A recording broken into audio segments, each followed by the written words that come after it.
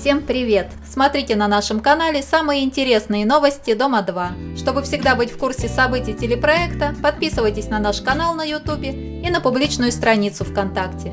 Все ссылки смотрите ниже, в описании к видео. Венцеслав Венгржановский – главный претендент на вылет на предстоящем мужском голосовании. Над ним сгущаются тучи, Николай Должанский объявил ему войну. А на предварительном голосовании Венцеслав остался в одиночках и гордо заявил, что он готов и сам покинуть проект. Катя Король решила сделать сюрприз для Кости Иванова. Она сшила ему майку и собственноручно ее расписала. Король рассказывает, Костя был в восторге от моего подарка, поцеловал и сказал, что общение со мной прекращать не хочет. Саша ревнует, не разрешила даже сфотографироваться нам с Костей в его обновке. Так что Костя Иванов находится в центре внимания свободных девушек, что чрезвычайно бесит его пассию Сашу Гозиас. А сейчас Костя и Саша летят на Сейшелы. Гозиас пишет «Я свою территорию всегда охраняла и буду охранять. Мы с Котей счастливые летим на Сейшелы и будем дальше любить и влюбляться, а там, может, и о свадьбе подумаем». Вова Гаути сообщил очень неожиданную для зрителей новость. Они с Катей Гужвинской помирились. Девушка, с которой он все это время переписывался, получила отворот-поворот. Вова устроил для Кати романтик, а затем парочка отправилась на романтическую фотосессию. Вова рассказывает, у нас с Катей дело идет к перемирию и объявлению себя обратно парой. Наконец-то грозовые тучи расходятся и наступает ясность. Я четко осознал, что я нужен ей, а она нужна мне. Ведь у меня есть чувства к Кате, и я хочу быть только с ней.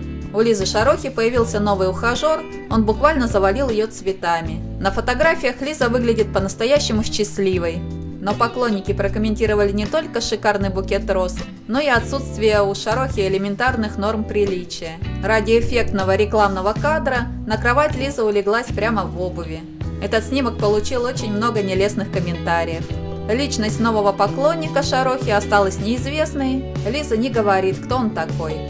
Николай Должанский был назначен Ксенией Бородиной кастинг-директором проекта. За всю историю «Дома-2» не было случая, чтобы рядовой участник проекта одновременно являлся и закадровым сотрудником. И не просто сотрудником, а директором. И Николаю Должанскому это удалось. Руслана Мишина объяснила своим подписчикам, почему она не появлялась в больнице у своего бывшего парня Алекса Гулиева.